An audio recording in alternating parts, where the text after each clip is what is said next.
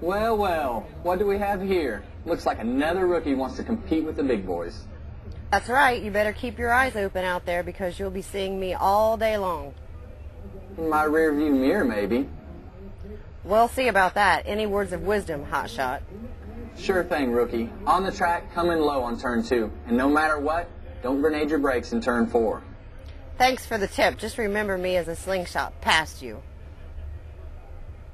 The car you're driving is tight. I'll give you that. I know your boys and your crew, and they won't let you down.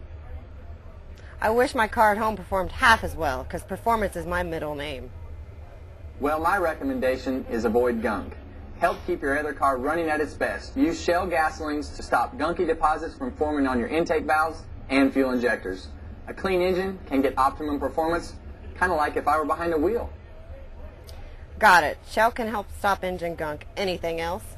Yeah, one last thing. Look for my number 29 Shell car in the winner's circle. That's where Richard Childress and I like to hang out after each race. We'll do that. Are all gasolines the same? At Shell, we're constantly testing to prove there is a difference.